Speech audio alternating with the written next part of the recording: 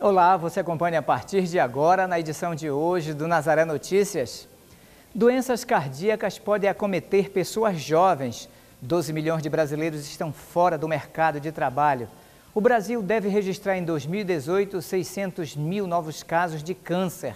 15 municípios paraenses estão afetados por enchentes e elevação do nível dos rios. E o Caçarraf lançou o livro de cartografias de professoras migrantes. IBGE aponta quase 12 milhões de analfabetos no Brasil. E o Teatro da Paz, um dos mais importantes patrimônios do Brasil, comemora 140 anos. No bate-papo musical de hoje, Mayra Leal conversa com Almirzinho Gabriel. Hoje é sexta-feira, 16 de fevereiro, e o Nazaré Notícias já está no ar.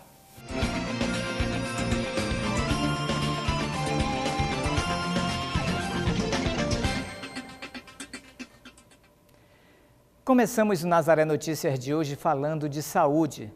Depois do recente caso do ex-jogador do Clube do Remo, Danielinho, que faleceu em campo de treinamento, abre reflexão sobre as doenças cardíacas em jovens. Uma doença cardiovascular normalmente é relacionada a pessoas idosas, mas que agora está a ocorrer em indivíduos mais jovens.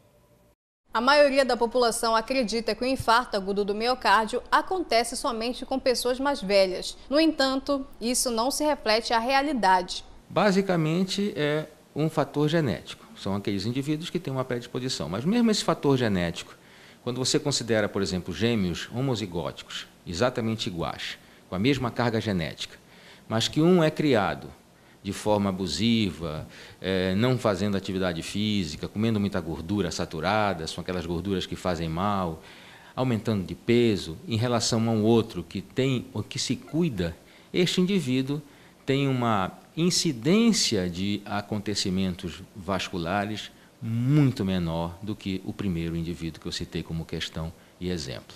Diversos fatores de risco podem levar uma pessoa ao infarto como o consumo de álcool, o tabagismo e o sedentarismo. Dentre essas causas que você precisa buscar, existe uma série delas que nós conhecemos hoje como vida saudável.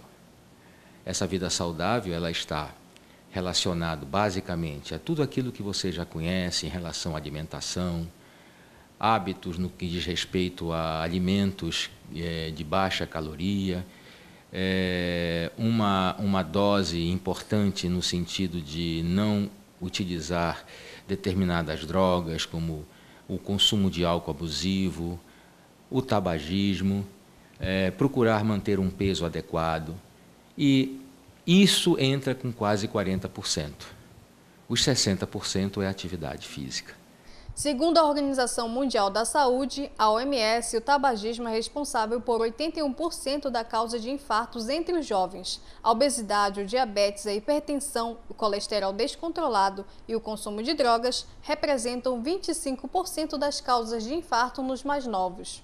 Nem sempre o infarto apresenta sinais, por isso é importante ficar atento aos sintomas e procurar ajuda médica. Muitas vezes, um infarto ele pode até ser assintomático. Tem certos indivíduos que não sentem nem dor, podem cursar com enjoo, uma sensação de azia, uma manifestação de tontura. Isso pode ocorrer em determinados indivíduos, mas o básico, a coisa que é mais é, é documentada e já experimentada seria a dor no peito, né? que é uma dor em aperto, como se o indivíduo experimentasse alguma coisa que estivesse pesando no seu peito de forma difusa. Normalmente cursa com suor frio. Enfim, alguma dessas manifestações elas podem perfeitamente é, serem confundidas com outras patologias ou com outras doenças.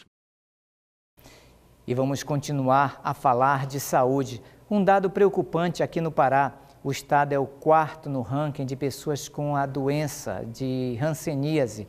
No Pará, são quase 30 doentes para cada 100 mil habitantes. Por isso, o estado é considerado de alto risco para a doença.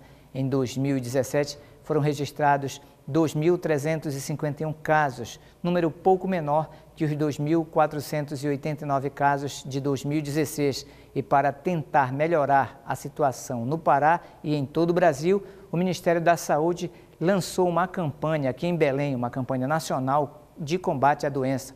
O ministro da Saúde fez o lançamento junto com representantes do governo do estado e dos municípios. Movimentos sociais ligados às vítimas da doença entregaram uma carta pedindo ações mais efetivas para o fim da hanseníase. E vamos falar de desemprego. 12 milhões de brasileiros estão fora do mercado de trabalho. Os números divulgados pelo IBGE apontam para um crescimento no número de empregos, mas ainda é a maior da série histórica desde 2012. Se trouxermos para a realidade paraense, o número de desempregados ultrapassa os 500 mil. Maicon é um deles. O jovem de 23 anos está sem emprego há um ano e meio e procura uma vaga na área de atendimento. Eu estou procurando já faz um ano e alguns meses. Estou sempre procurando na área de atendimento e sempre eu estou na expectativa de eu ser chamado. O desemprego é uma realidade de 12,3 milhões de brasileiros. Os números são referentes aos últimos três meses de 2017 e representam um percentual de 11,8% da população do país. De acordo com o IBGE, o número de desempregados diminuiu, o que não significa que a qualidade desses empregos tenha aumentado. Até porque muitos empregos não oferecem carteira assinada. O fenômeno do desemprego ele está público e está notório, né? É uma questão até mundial. E aqui no nosso estado, ela também sofre com isso, pois nós, nosso, nossos principais balcões de emprego é a mineração. Então, quando tem uma crise internacional, ela vai acontecendo um efeito em cadeia. Na capital paraense, alguns órgãos funcionam como centros de captação de currículos. Pessoas em busca de oportunidades podem se cadastrar em balcões de emprego, como o Cine, a Casa do Trabalhador e o Portal do Trabalhador. O Portal do Trabalhador, ele é um mecanismo de intermediação entre o público-alvo, que são as pessoas que procuram o mercado de trabalho, seja ela para se cadastrar no, na IMA, ou seja ela para procurar uma carteira de trabalho com a gente lá. Então, ela é um mecanismo que trabalha de parceria com o público em geral. Eles procuram o, o, o portal do trabalhador e são atendidos. O nosso funcionamento lá é das 8 às 14 horas. Né? Entrega, tem as senhas que são entregues, tudinho.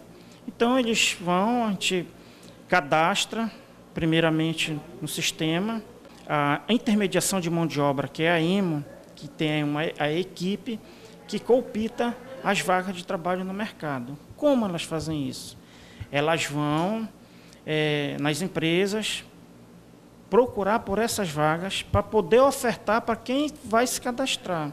Tendo as vagas, nós vamos no banco de dados procurar os currículos, ver o perfil de cada pessoa para estar tá encaminhando através do sistema e uma carta junto ao candidato.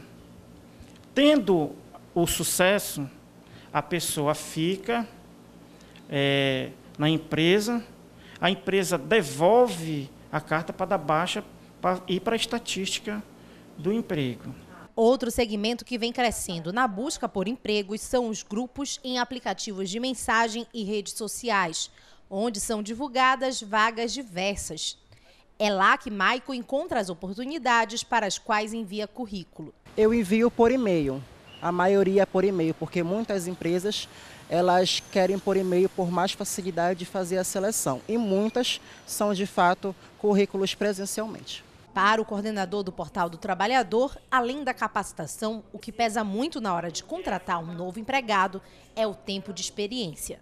Capacitação ela é bastante procurada. Mas o que mais eu vejo assim é, na realidade, a dificuldade que tem é porque eles cobram tempo de carteira assinada, tempo de experiência. Então, tem muita gente que está capacitada, mas está com a carteira limpa.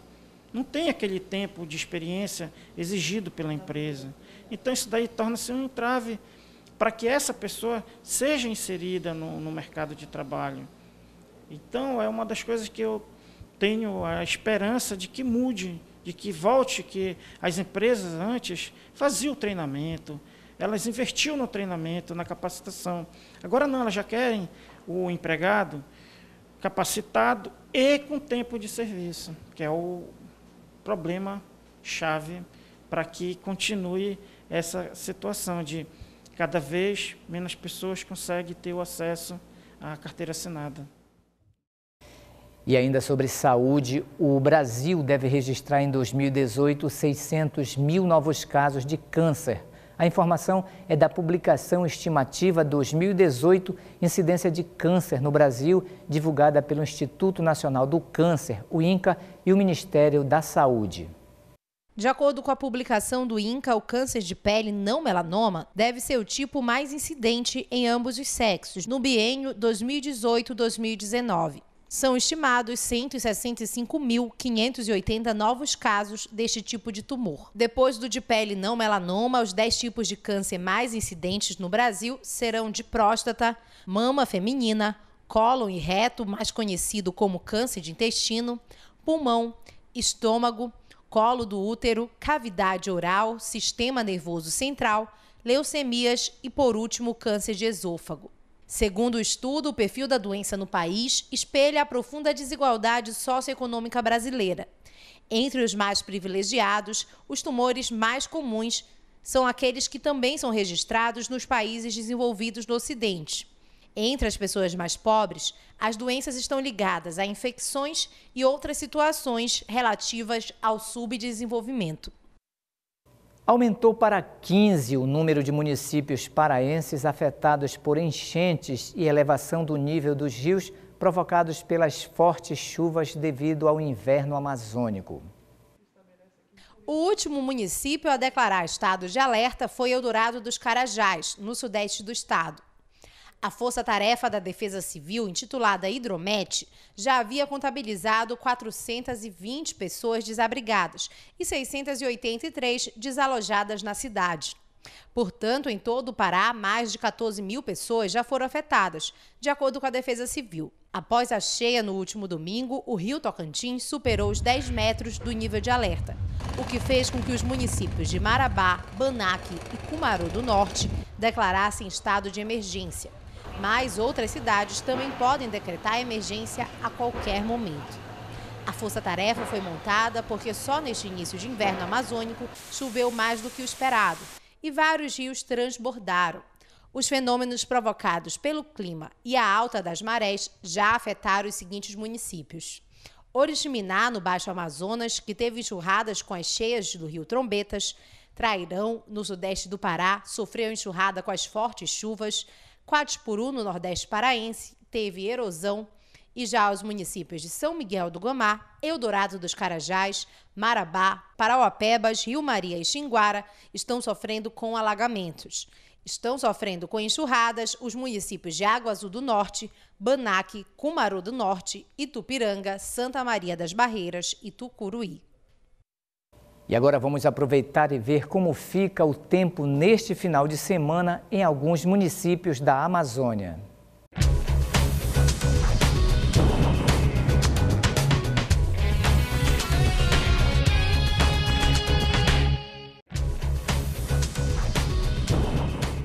O final de semana no município de Salinópolis, Nordeste Paraense, será com céu encoberto e chuvas. Durante a manhã do sábado, o sol deve aparecer entre nuvens, mas logo será substituído pelas chuvas. A mínima prevista é de 25, com máxima podendo chegar a 28 graus. Na capital amapaense, o sábado será com o céu encoberto durante quase todo o dia. Ao longo da tarde estão previstas chuvas, mas sem grande intensidade. No domingo, o céu deve ficar nublado e estão previstas pancadas de chuva a qualquer hora do dia. A mínima prevista é de 24 graus, com máxima de 34 graus.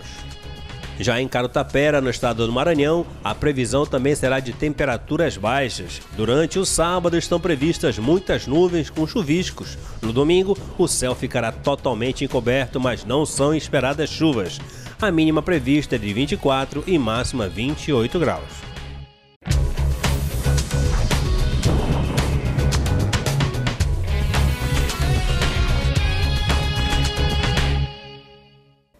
O resultado da pesquisa acadêmica da professora e pesquisadora Ilka Bahia Sarraf foi lançado em Belém e na região do Marajó. Mayra Leal conversou com a autora sobre o livro Cartografia de Professoras Migrantes, formação docente na construção da identidade. A professora Ilka Bahia Sarraf está lançando um livro que é o resultado da sua dissertação de mestrado. O livro fez, na verdade, a pesquisa é uma cartografia de professoras migrantes que atuam na região do Marajó, especificamente na cidade de Melgaço. Professora, obrigada por conversar conosco. Desde já a gente parabeniza pela finalização da pesquisa, né, e por transformá-la num livro que vai fazer com que mais gente tenha acesso também, né? É, professora, eu queria que a senhora explicasse um pouco para a gente como é que foi essa pesquisa e como foi é, estudar essa vida, essa história dessas mulheres. É, estudar a história das mulheres migrantes, Melgaço, eu me descobri como uma migrante. Né? Melgaço me adotou. Então, o envolvimento com essas mulheres, fui alunas, fui colegas de trabalho, estabeleci uma relação de amizade e além disso, porque essas mulheres, elas construíram a história da educação do município de Melgaço. Essa é uma temática pouco estudada no nosso Marajó, na nossa Amazônia. Eu pesquiso cinco mulheres, cinco mulheres que migraram para Melgaço no, início, no início da década de 80. Né? Elas saíram de diversas localidades do estado do Pará, Quatro delas, ainda na infância, vieram para Belém em busca de formação acadêmica. E elas foram para Melgaço e lá elas foram construindo a sua história, a história do próprio lugar. E professora, a senhora também, como a senhora falou no começo, a senhora também se identifica com essas mulheres porque tem uma história de imigração.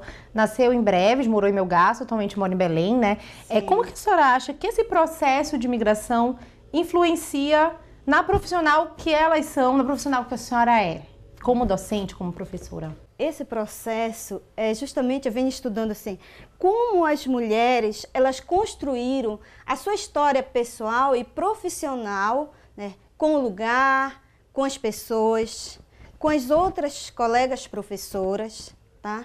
Então, o que que isso influenciou? Influenciou muito na troca de saberes, de experiências, de conhecimento.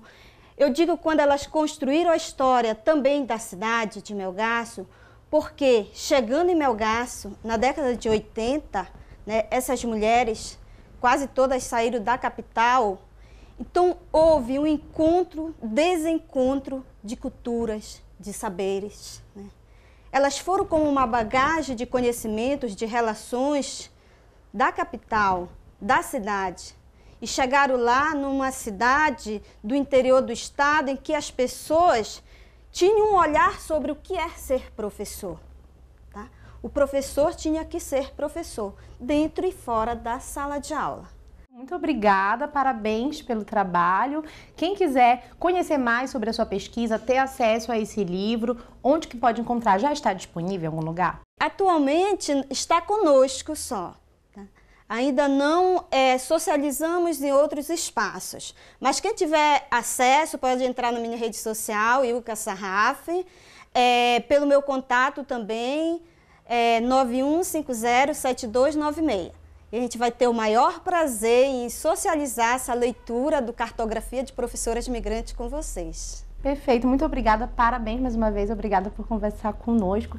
Então é isso, quem quiser conhecer mais sobre o trabalho da professora Ilka, acesse as redes sociais, procure saber mais sobre a cartografia, sobre a história de Melgaço. É mais um trabalho que sai da academia e que vai ficar disponível para a população.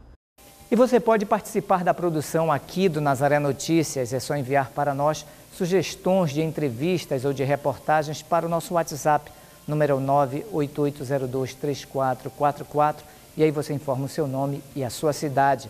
Ajude os meios de comunicação da Arquidiocese de Belém, faça parte da família Nazaré. Ligue 4006-9211. E você acompanha ainda nesta edição, IBGE aponta quase 12 milhões de analfabetos no Brasil. O Teatro da Paz, um dos mais importantes patrimônios do Brasil, comemora 140 anos. E no bate-papo musical de hoje, Mayra Leal conversa com Almirzinho Gabriel. Voltamos com Nazaré Notícias e vamos falar de educação. Dados divulgados pelo IBGE apontam que existem quase 12 milhões de analfabetos no Brasil. A pesquisa feita em todas as regiões do país mostra não apenas desigualdades sociais entre quem mora no norte e no sul do país, mas o abismo que ainda existe entre brancos e negros. No Brasil, mais de 50% da população é formada por pretos ou pardos, mas isso não faz do país um lugar justo com essa fatia gigantesca da população. Isso é o que diz uma pesquisa apresentada pelo IBGE em dezembro de 2017, onde índices apontam que para cada grupo de 10 pessoas analfabetas, duas serão brancas e o restante serão pretas ou pardas. O total de analfabetos mostra que o país ainda está distante de cumprir a meta 9 do Plano Nacional de Educação, o PNE, instituído pela Lei nº 13.005. Além de notar que a taxa é superior entre os idosos, a pesquisa também aponta que o índice de analfabetismo é superior entre as pessoas pretas ou pardas. Se levarmos em consideração as pessoas que se autodeclaram brancas, o índice de analfabetismo é de 4,2%. Mas se considerarmos as pessoas que se autodeclaram pretas ou pardas, o índice sobe para 9,9%. Em um recorte que considera as pessoas com 60 anos ou mais, o percentual entre os dois grupos é de, respectivamente, 11,7% e 30,7%. De acordo com a pesquisa, a região Nordeste foi a que apresentou o maior índice de analfabetismo, 14,8%, o que representa quatro vezes mais do que a taxa estimada para as regiões Sudeste e Sul, que foram 3,8% e 3,6%, respectivamente. Já na região Norte, a taxa foi de 8,5% e na região Centro-Oeste, 5,7%. As disparidades entre as regiões podem apresentar a fragilidade ou a ineficiência de investimentos e a necessidade de se aplicar um conceito básico da Constituição, que é preciso tratar os desiguais de forma desigual, investindo mais onde mais se precisa de investimentos, mas de forma coerente e pontual. De acordo com o IBGE, no Brasil, 51% da população de 25 anos ou mais de idade estavam concentradas nos níveis de instrução até o ensino fundamental completo, ou equivalente. 26,3% tinham o ensino médio completo ou equivalente e 15,3% o superior completo. Considerando a cor ou a raça, as diferenças no nível de instrução se mostraram ainda maiores, enquanto 7,3% das pessoas brancas não tinham instrução, 14,7% das pessoas pretas ou pardas estavam nesse grupo. Para a universidade, o problema é maior do que se imagina. A gente trabalha nessa perspectiva do ensino pesquisa e extensão, atendendo, sobretudo, os municípios que compõem essa região que a gente costumeiramente chama de Transamazônica e Xingu, que são os municípios que vão de Porto de, de Gurupá, aliás, até é, Rurópolis. É, o que nós temos observado no levantamento feito o ano passado é que de todos esse, esses municípios que eu citei, essa região, ah, nós temos mais de 15 mil alunos é, estudando no ensino médio, na última série de ensino médio, em vias de acessar o ensino superior. Só que é, o grande dilema que a gente percebe do ponto de vista de acesso ao ensino superior é que esse número, quando, ele, quando as pessoas terminam o ensino, o ensino médio, esse número despenca é, em relação ao acesso ao, ao nível superior. Francivaldo explica que a pesquisa mostra a ponta do iceberg, mas não revela que é na universidade, quando esse público chega com um alto índice de deficiência na educação ou não consegue acessar o ensino superior, que o cenário se mostra ainda pior. Para você ter uma ideia, atualmente nós temos no nosso campo, no nosso campus apenas 1.208 alunos de todo esse universo de alunos que eu te falei, estou considerando apenas o ano de 2015. Então, se a gente for ampliar, a gente vai perceber que é, ano após ano esse número tende a aumentar e, de fato, esses alunos é, efetivamente ou majoritariamente não estão adentrando na, na universidade pública. A pesquisa divulgada pelo IBGE vai mais longe. Mostra um alto índice de evasão escolar já no ensino fundamental, mas com uma ressalva. O número de crianças de 0 a 5 anos ingressando na pré-escola cresceu e vem se destacando, com quase 90,2% de taxa anual. Segundo a universidade, não resolve, mas já é um bom sinal. De acordo com a Universidade Federal do Pará, existe um descompasso entre as classes sociais e os programas educacionais. A pesquisa é clara: a educação básica não está conseguindo cumprir o seu papel. E o resultado é que as universidades estão sendo esvaziadas e o país perde com a formação adequada de profissionais. O calendário de pagamento do DPVAT 2018 já está disponível para os proprietários de veículos no Maranhão. O vencimento do seguro DPVAT varia de acordo com o final da placa de cada veículo, começando em 5 de março e se estendendo até o dia 27 de março de 2018. Marcos, a quitação do seguro DPVAT é necessária para obter o certificado de licenciamento do veículo. Informações sobre o prazo de vencimento de acordo com a placa do veículo, sobre a emissão do boleto de cobrança e como deve ser feito esse pagamento podem ser obtidas no site www.seguradoralider.com.br. Lembrando que o seguro DPVAT é um seguro de caráter social e serve para amparar as vítimas do trânsito em todo o país. Mayra Leal para o Nazaré Notícias. E vamos falar de salário maternidade. O processo de solicitação do salário maternidade ficou mais simples. Agora o programa será concedido automaticamente após o registro do bebê no cartório, sem necessidade de ir a uma agência do INSS. Para isso, é necessário que o cartório tenha enviado os dados para o Sistema Nacional de Informações de Registro Civil. A mãe pode conferir se pode receber ligando para o número 135 ou agendando o atendimento em uma agência do INSS. O número 135 funciona de 7 às 22 horas de segunda a sábado. A ligação é gratuita quando é efetuada de telefones fixos ou tem custo de uma ligação local para quando for feita de telefones celulares. O salário maternidade é pago no caso de nascimento e também de adoção de crianças com duração de 120 dias. O Ministério das Cidades e o Denatran anunciaram um novo prazo para que todos os estados sejam obrigados a oferecer a Carteira Nacional de Habilitação Digital, 1 de julho. Priscila Pinheiro tem mais informações. Marcos, o documento virtual vale como comprovação em casos em que a Carteira Nacional de Habilitação é aceita. Pelo menos 12 estados e o Distrito Federal já aderiram à CNH Digital. Alguns já estão emitindo o documento. Cerca de 17 mil motoristas já usam a Carteira Nacional de Habilitação Digital. Priscila Pinheiro para o Nazaré Notícias. Estão abertas as inscrições para o processo seletivo simplificado para o pré-vestibular municipal de Belém. O número de vagas aumentou este ano. Serão 1.200 vagas e outras 600 de cadastro de reserva. As turmas serão divididas nos turnos manhã, tarde e noite. No vestibular 2018, dos 600 matriculados, o cursinho aprovou 357 alunos nas universidades públicas. Com o aumento da oferta de vagas, o cursinho mudou para novo endereço na Avenida Alcindo Cacela, entre Gentil Bittencourt e Conselheiro Furtado.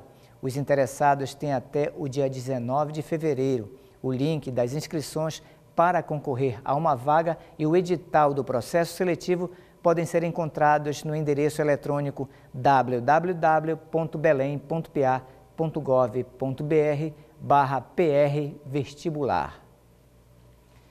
O Teatro da Paz, um dos mais importantes patrimônios do Brasil, comemora 140 anos. Desde a sua fundação, é palco de grandes eventos. De estilo neoclássico, ele surgiu durante o período áureo da borracha, na Amazônia.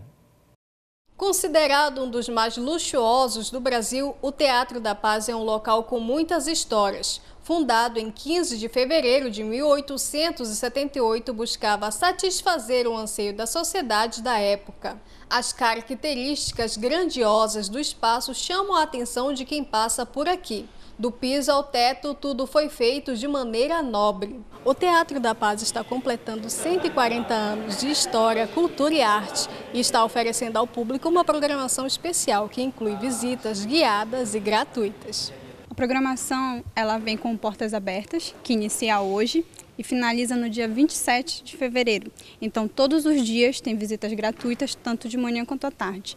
E o dia 28 acontece a contação de histórias, que já é um outro projeto voltado para alunos de escola pública e é um público infantil. Então, o teatro é apresentado de uma forma lúdica, saindo desse cenário mais turístico e mexendo com o imaginário das crianças. O projeto Portas Abertas apresenta ao público a história da casa de espetáculo. As pessoas normalmente podem esperar ah, diversas curiosidades sobre tanto a história do Teatro da Paz, assim como dos espaços que eles visitam. Né? A visita acontece a partir do hall de entrada e lá nós fazemos uma introdução histórica do teatro.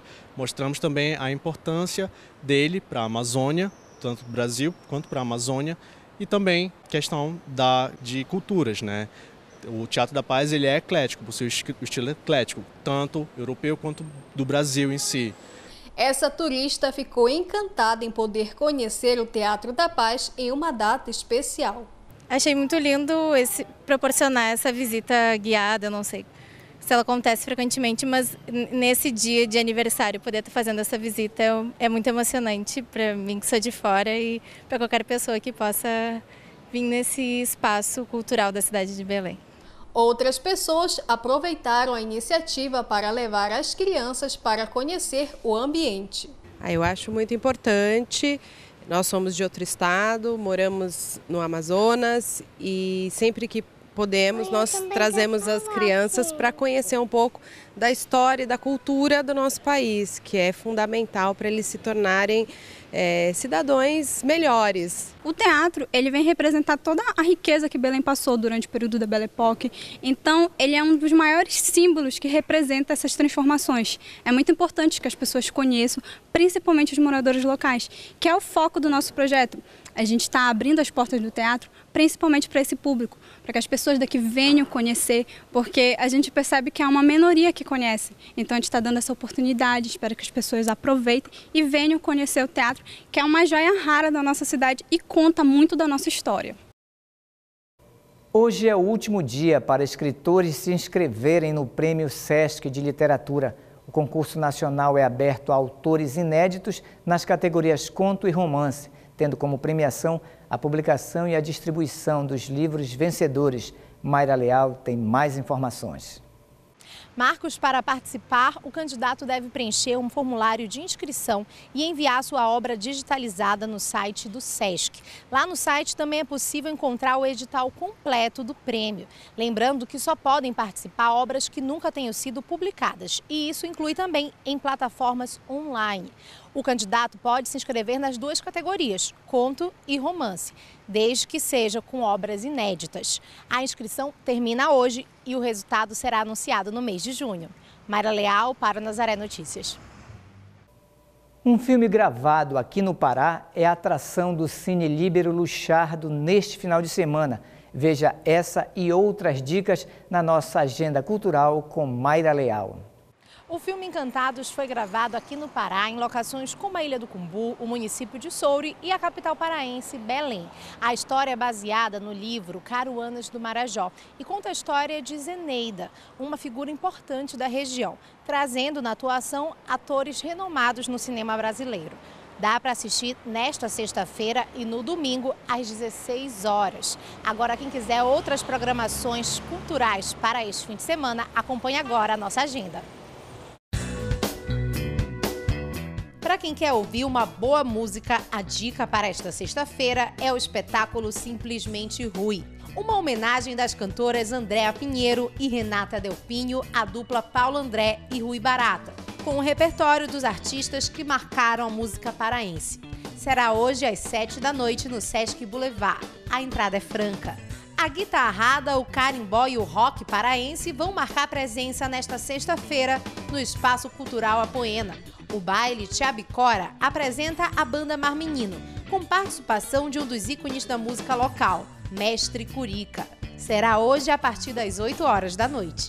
Já uma opção para o fim de semana é a exposição Os Caxinauás, Autonomia e Contato, com imagens e materiais que reúnem o desenvolvimento dos Caxinauás através da sua história e de contatos até a atualidade. Pode ser visitada neste sábado e domingo, de 9 às 11 horas, no Museu do Estado. A entrada é franca. Um dos grandes músicos e compositores paraenses fala sobre a sua trajetória e a sua carreira no bate-papo musical de hoje. Mayra Leal conversa com Almirzinho Gabriel. Marcos, no nosso bate-papo musical de hoje, a gente recebe o Almizinho Gabriel, que é cantor, músico, compositor, multi-instrumentista, né? E que nesse fim de semana se apresenta em Belém, aqui no Barzinho. Almizinho, muito obrigado por conversar com a gente. Um prazer te receber no Nazaré Notícias. É, eu já adiantei um pouco, né, de que tu és músico, compositor, cantor, instrumentista. Se tu pudesses destacar de tudo isso, o que é que tu mais gosta de fazer? A composição. Eu gosto muito de escrever e gosto muito de compor.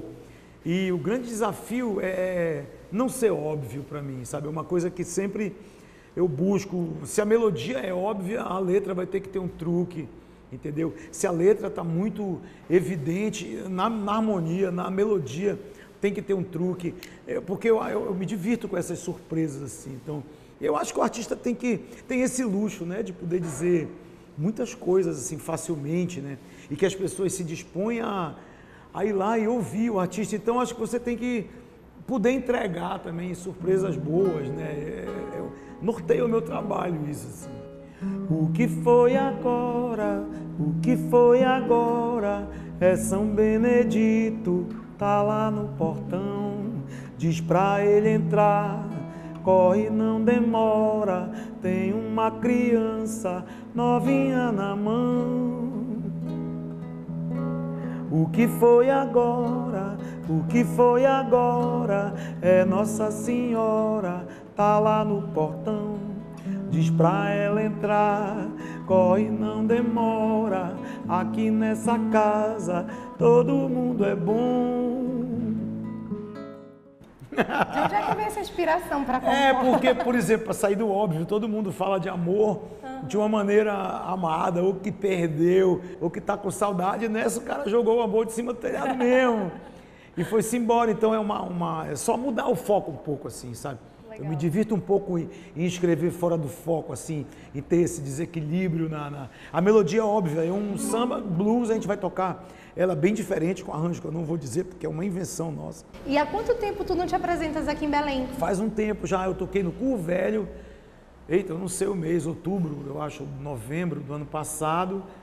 Maravilhoso, eles fazem um festival ali na beira, né? Uma delícia.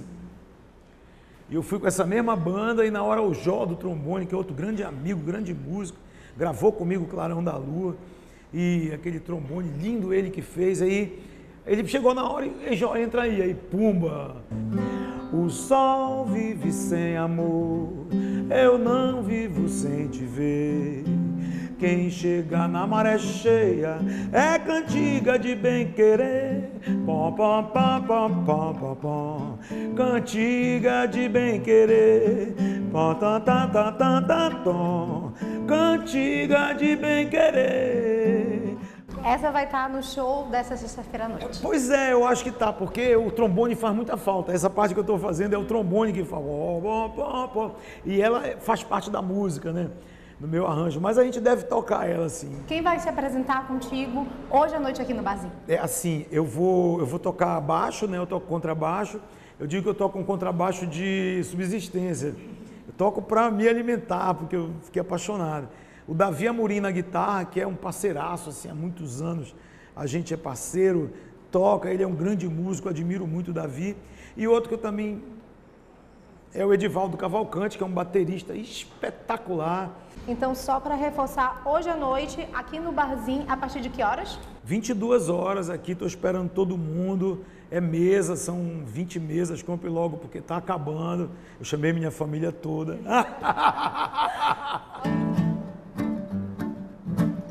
em vez de ficar aí jogada, passa lá em casa, em vez de ver o bonde passar. Pra lá e pra cá, me deixa essa cara amarrada, que eu não tenho nada pra passar. Em vez de ficar aí jogada, passa lá em casa, em vez de ver o bonde passar pra lá e pra cá, me deixa essa cara amassada, que eu não tenho nada pra passar. Almizinho, a gente agradece a tua participação no Nazaré Notícias, espera contar contigo mais outras vezes e deseja que o show de hoje seja um sucesso, viu? Muito obrigada. Muito obrigado, todo mundo convidado. Vamos lá, hein? O Nazaré Notícias fica por aqui. Um ótimo fim de semana. Até segunda-feira. Ontem na cidade nada era de verdade.